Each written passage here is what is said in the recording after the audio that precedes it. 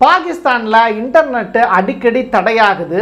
Somebody உள்ளே வந்து வேலையை பார்த்து விட்டுறாங்க அப்படிங்கிறதுனால எங்கள் வீட்டுக்கான கதவை நாங்களே பாதுகாத்துக்கிறோம் அப்படிங்கிற கான்செப்டில் புதிதாக கதவு ஒன்று ஏற்பாடு பண்ணுறாங்க புரியலையா? ஃபயர் வால் புதுசாக உருவாக்குறாங்க.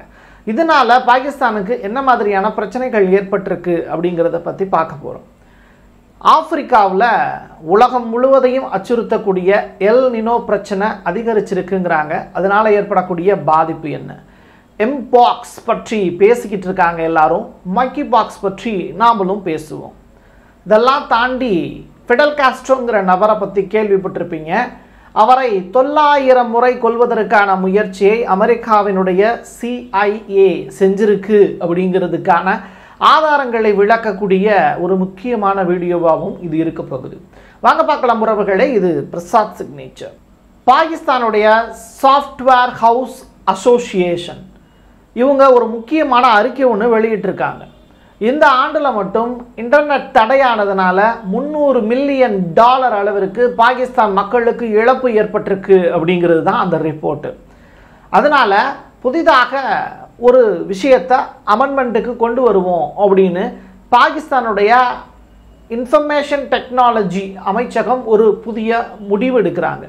அந்த முடிவின் அடிப்படையில் புதுசாக ஃபயர் வால் ஒன்று இன்ட்ரடியூஸ் பண்ணலாம். நம்ம நாட்டுக்குன்னு ஒரு ஃபயர் வால் இன்ட்ரடியூஸ் பண்ணலாம் அப்படிங்கிறாங்க. சரி இந்த ஃபயர் வால் அப்படின்னா என்ன அப்படிங்கிறத நம்ம தெரிஞ்சுக்கணும். இன்டர்நெட்டுக்கான தடை அப்படிங்கிறது அவ்வப்போது ஏற்படுவது வழக்கம்தான். இப்போ நம்ம ஃபேஸ்புக் வாட்ஸ்அப் ட்விட்டர் இன்ஸ்டா எல்லாமே பயன்படுத்துகிறோம் இது லோ ஸ்பீடில் இயங்கும் போது நம்மளால் அந்த இன்டர்நெட்டை முழுமையாக பயன்படுத்த முடியாது. ஃபைவ் ஜி வரைக்கும் வந்துருச்சு. ஆனால் ஃபை பாகிஸ்தானில் இன்னும் ஃபைவ் ஜி வரல. ஃபோர் ஜி வரைக்கும் இருக்குது ஸோ இப்படிப்பட்ட சூழ்நிலையில் பாகிஸ்தானில் எதற்காக புதிதாக ஃபயர்வால் ஒன்று உருவாக்கணும் அப்படின்னா பாகிஸ்தானில் ஹேக்கர்ஸ் ஜாஸ்தி. உலகத்திலேயே அமெரிக்காவினுடைய சிஏஏக்கு அடுத்தபடியாக மொசாட்டுக்கு இணையாக பாகிஸ்தானுடைய உளவமைப்பு தான் இருக்குங்கிறது உலகத்தில் அறியப்படாத ஒரு உண்மை. நான் உங்களுக்கு சொல்கிறேன் தெரிஞ்சுக்கோங்க. அந்த அளவுக்கு பாகிஸ்தானுடைய உளவு நிறுவனங்கிறது ரொம்ப ஸ்ட்ராங்கானது அப்படிப்பட்ட அந்த உளவு அமைப்பே இப்போ புதிதாக ஃபயர்வால் ஒன்று உருவாக்கணும்னு சொல்கிறாங்கன்னா என்னுடைய வீட்டுக்கான புதிய கதவை நான் உருவாக்கி கொள்கிறேன். நீ போட்டு கொடுத்த கதவு எனக்கு வேணாம். இன்ஜினியர் கட்டி கொடுத்தாங்கல்ல வீடு. அப்போ புதுசாக நீங்களே ஒரு கதவு ஒன்று டிசைன் பண்ணி கொடுத்துருப்பீங்கல்ல அதுதான் ஃபயர்வால் அந்த கதவை அப்படி தூக்கி வச்சுட்டு அதுக்கான பூட்டையும் நானே வச்சுக்கிறேன். பில்டிங் ஒன்னோடது தான் கட்டுமானம் ஒன்றோடது தான் சிமெண்ட் ஒன்றோடது தான் செங்கல் ஒன்றோடது தான் ஆனால் வீட்டுக்குள்ளே நுழையிறதுக்கான வாய்ப்பையும் வீட்டுக்கு வெளியில் போகிறதுக்கான வாய்ப்பையும் நானே உருவாக்கிக்கிறேன் அப்படிங்கிறது தான் இந்த ஃபயர்வால் ஸோ இந்த ஃபயர்வாலை தான் புதுசாக உருவாக்கியிருக்காங்க. இந்த ஃபயர்வாலை உருவாக்குனதுனால என்ன மைனஸ் அப்படின்னு சொல்லி கேட்கும்போது ஏகப்பட்ட மைனஸை சொல்கிறாங்க இதை யார் வந்து சொல்கிறா அப்படின்னா பாகிஸ்தானில் இந்த நீதிமன்றம்னு ஒன்று இருக்குல்ல உயர் நீதிமன்றம். அந்த உயர் நீதிமன்றத்தில் ஒரு ஜேர்னலிஸ்ட் ஒன்று பெட்டிஷன் ஒன்று ஃபைல் பண்ணுறாரு மனு போடுறார். ஹமீத் மிர் அப்படிங்கிறது தான் அந்த பத்திரிகையாளருடைய பேர். அவர் பாகிஸ்தானில் இருக்கக்கூடிய உயர்நீதிமன்றத்தில் போட்டிருக்கக்கூடிய பெட்டிஷன் அப்படிங்கிறது டவுன் டிடெக்டர் தான் இந்த டோட்டலாக நம்ம பயன்படுத்தக்கூடிய இன்டர்நெட்டை அப் அண்ட் டவுன் பண்ணும் ஸ்பீடை ஸோ இதை வந்து சரி பண்ணுறதுக்கு பதிலாக நம்ம புதிய ஃபயர்வால் கொண்டு வர்றது அப்படிங்கிறது ஹேக்கர்ஸுக்கான வாய்ப்பையும் உருவாக்கிவிடும். அதே நேர நேரத்தில் மக்களுடைய டேட்டாக்கள் திருடு போவதற்கான வாய்ப்பும் இருக்குது அப்படிங்கிறது தான் அவர் முன்வைக்கக்கூடிய விஷயம். ஸோ இங்கே ஒரு எப்படி சொல்கிறது வெப் மேனேஜ்மெண்ட் சிஸ்டம் அப்படின்னு ஒன்று இருக்குது இங்கே வெப் மேனேஜ்மெண்ட் சிஸ்டத்தை உலகளாவிய அளவில் வச்சுருக்காங்க. அதை பாகிஸ்தானுக்கு மட்டுமே சுருக்கிறது அப்படிங்கிறது நம்மை நாமே சுருக்கிக் கொள்வதற்கு சமம். ஒரு குறுகிய கூண்டுக்குள்ளே நம்ம அடப்பட்டு கிடைக்கிற மாதிரி பறவைங்கிறதே பறக்கிறதுக்கு தான். அது சிறகு உடஞ்சிரும் கால் உடஞ்சிரும் அப்படிங்கிறதுக்காக அதை கூண்டுக்குள்ளே போட்டு வைக்கிறதுங்கிறது சரியாக வராது அப்படிங்கிற ஒரு விஷயம். வாழணுமா சாகணுமாங்கிறத அந்த பறவை முடிவு பண்ணிக்கிட்டோன்னு கலாப்படத்தில் வரக்கூடிய டயலாக்கு தான் ஞாபகப்படுத்த வேண்டியது இருக்குது ஸோ இப்படி உலகம் முழுவதும் இன்டர்நெட்டினுடைய சேவைங்கிறது ரொம்ப ஸ்பீடாக போயிட்டு இருக்கக்கூடிய நேரத்தில் பாகிஸ்தான் தனது பாதுகாப்புக்கென புதிய கதவு கொண்டு வருவதை அந்த நாட்டு மக்களே விரும்பவில்லை அப்படிங்கிறது தான் இங்கே நமக்கு கிடைக்கக்கூடிய தகவலாக இருக்குது ஆப்பிரிக்கா கண்டம் புதிதாக ஒரு கிரைசிஸ் ஒன்று உருவாயிருக்கு. அறுபது மில்லியன் மக்கள் சாப்பிட்றதுக்கு சாப்பாடு இல்லாமல் கஷ்டப்பட்டுக்கிட்டு இருக்காங்க. எல் நினோ இதனால் பாதிக்கப்பட்டு அந்த ஒட்டுமொத்த கண்டமுமே வறட்சியால் வாடிக்கிட்டு இருக்கு.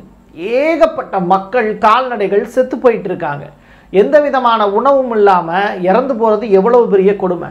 ஐக்கிய நாடுகள் சபையினுடைய யுஎன்ஆர்டபிள்யூஏ அதை கண்டுக்கவே மாட்டேங்குதுங்கிறாங்க. ஜிம்பாவே உள்ளிட்ட நாடுகள் எல்லாமே இப்போது வறட்சியின் பிடியில் மாட்டிக்கிட்டு இருக்குது அவங்கெல்லாம் சரியாக கிரிக்கெட் விளையாட மாட்டாங்க ஒரு காலகட்டத்தில் லெங்கா அப்படிங்கிற நபரும் நம்ம சச்சின் டெண்டுல்கருக்கு சூப்பராக பவுலிங் போடுவார். சடைக்கடையெல்லாம் பண்ணிட்டு. இப்போ அந்த நாட்டில் வந்து அந்த அளவுக்கு வந்து பவுலிங் போடுறதுக்கு அந்த அளவுக்கு பேட்டிங் பண்ணுறதுக்கு ஆட்கள் இல்லை. ஜிம்பாவே டீம் அப்படிங்கிறதே ஒன்றும் இல்லாமல் போயிடுச்சுன்னு கேட்டால் அவங்கக்கிட்ட திறமை இல்லாமல் இல்லை.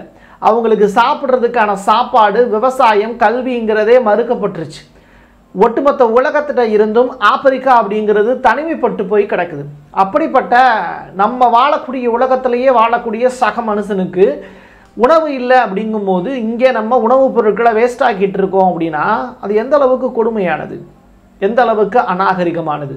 மனித சமூகத்திற்கு துரோகம் செய்யாமல் நீயும் நல்லாரு நானும் நல்லா இருக்கேன் அப்படிங்கிறது தான் மனிதநேயம். அதை நம்முடைய ஐக்கிய நாடுகள் சபை செய்யணும் அப்படிங்கிறது தான் நம்முடைய ரெக்வஸ்ட் இது ஒரு புறம் இருக்க. காசாலையும் மக்கள் உணவு தான் இருக்காங்க. அங்கே போலியோ அட்டாக் ஆகி தொடர்ச்சியாக ஐம்பது ஆண்டு காலமாக இல்லாத பிரச்சனைகள்லாம் புதுசாக உருவாகிட்டு இருக்கு.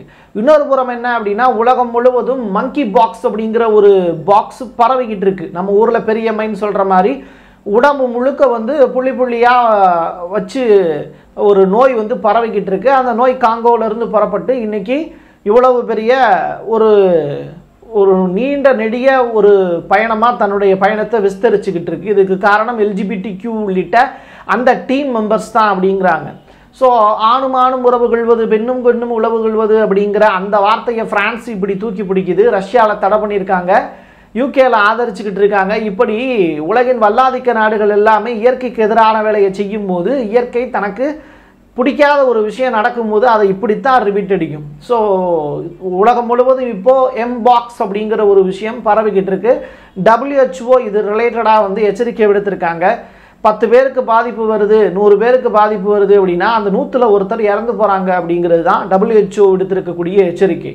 உலகம் முழுவதும் பேண்டமிக்கில் மறுபடியும் மாட்டப்போகுது அப்படிங்கிற மாதிரியான விஷயங்களை சொல்லிக்கிட்டு இருக்காங்க. So twenty four hours hospital busy அப்படிங்கிற வேர்டு கூடிய சீக்கிரத்தில் இந்தியாவில் தாண்டி அப்படியே தமிழ்நாட்டு பக்கம் வருவதற்கான வாய்ப்பு இருக்கான்னு கேட்டால் அதுவும் நடக்கலாம். அதற்கு மேலேயும் நடக்கலாம். மாஃபியா ஸ்பைஸ் சீரியஸ் இவங்க கொடுத்துருக்கக்கூடிய ரிப்போர்ட் என்டிடிவியில் ரிப்போர்ட்டாக ஃபைல் பண்ணியிருக்காங்க. அவங்க கொடுத்துருக்கக்கூடிய செய்தியை தான் நான் மக்கள்கிட்ட சொல்கிறேன் இது எதுவும் திணிக்கப்பட்டதல்ல திரிக்கப்பட்டதல்ல. வெளிப்படையாக ஓப்பன் மார்க்கெட்டில் கிடைக்கக்கூடிய நியூஸை மக்கள்கிட்ட சொல்கிறோம் அவ்வளோதான் ஃபெடல் காஸ்ட்ரோ இந்த நபரை பற்றி உங்களுக்கே தெரியும். கியூபா கியூபா அப்படிங்கிற ஒரு கண்ட்ரி செகுவேரா அப்படிங்கிற ஒரு நபர். அந்த நபரும் ஃபெடல் காஸ்ட்ரோவும் சேர்ந்து விவசாயிகளை ஒன்று திரட்டி பெரிய அளவிலான போராட்டங்கள் நடத்தி அந்த கியூபா அப்படிங்கிற நாட்டை மீட்டெடுத்தாங்க. ஆட்சியை தனதாக்குனாங்க.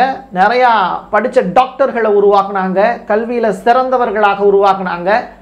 இன்றைக்கும் அதிகமான அளவில் டாக்டர்ஸ் இருக்கக்கூடிய கண்ட்ரி கியூபா தான். ஸோ படித்தவங்க அதிகமாக இருக்கக்கூடிய கண்ட்ரி கியூபா தான். காரணம் அங்கே நிலையான கம்யூனிசம் அப்படிங்கிற ஒன்றை சிறப்பாக நடத்தினாங்க. அதை ஃபிடல் காஸ்ட்ரோ தான் வழி நடத்தினார். சேகுவேரா அவரை விட்டு பிடிந்து லத்தீன் அமெரிக்க நாடுகளை டெவலப் பண்ணுறதுக்குன்னு போய் அங்கே அமெரிக்காவால் கொலை செய்யப்பட்டார் அப்படிங்கிறதெல்லாம் வேற கதை. அதே மாதிரி ஃபிடல் காஸ்ட்ரோவையும் ஏகப்பட்ட முறை கொலை செய்வதற்கு முயற்சிகள் நடந்திருக்கு அப்படின்னு சொல்கிறாங்க அதில் ஒன்று உணவில் விஷம் கலந்து கொடுக்கறது. ஸ்கூபா டைவிங் அது பிடிக்கும் அப்படின்னு நினைக்கிறேன். ஸோ ஸ்கூபா டைவிங் அடிக்கும்போது அவரை கொலை செஞ்சிடலாம் அப்படிங்கிறதுக்காக ட்ரை பண்ணியிருக்காங்க. கடலுக்கு அடியில் இருக்கக்கூடிய கடல் பாசிகள் அதில் விஷத்தை கலந்து அதில் வந்து விஷத்தை கலந்து கொண்டுடலாம் அப்படின்னு நினச்சிருக்காங்க பாம்பு போட்டு. இப்படி ஏகப்பட்ட விஷயங்கள். ரொம்ப முக்கியமாக சொல்லணும்னா அவர் வந்து சுருட்டு பிடிப்பார்.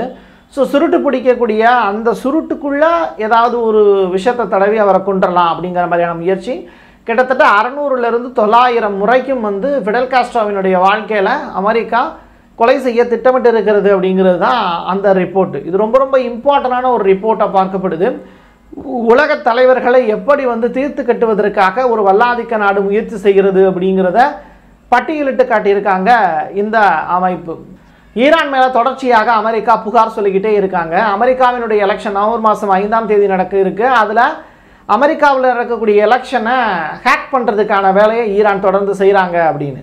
ஸோ இதன் காரணமாக என்ன பண்ணிட்டாங்க அப்படின்னா ஏற்கனவே நாலு வெப்சைட்டை பிளாக் பண்ணி வச்சுருந்தாங்க. அதுலேயும் வந்து ஈரான் வந்து வேலை செஞ்சுருக்கு அப்படின்னு சொல்கிறாங்க இப்போ சாட் ஜிபிடிலையும் ஈரான் வந்து அட்டாக் பண்ணியிருக்கு அப்படிங்கிறாங்க. ஸோ எலெக்ஷனை மையப்படுத்தி சாட் ஜிபிடியை குறி வச்சிருக்கு அப்படிங்கிறதுனால ஆர்டிஃபிஷியல் இன்டெலிஜென்ஸ் தயாரித்த அந்த சாட் ஜிபிடியில் ஈரான் வசப்படுத்திய அந்த வெப்சைட்டுகள் எல்லாத்தையுமே பிளாக் பண்ணி வச்சுருக்காங்க அப்படின்னு சொல்கிறாங்க ஸோ இது ரொம்ப பெரிய அளவில் பேசுபொருளாக மாறி இருந்த ஒரு விஷயம். அதையும் மக்கள்கிட்ட கொண்டு வந்து சேர்க்க வேண்டியது நம்மளது கடமை.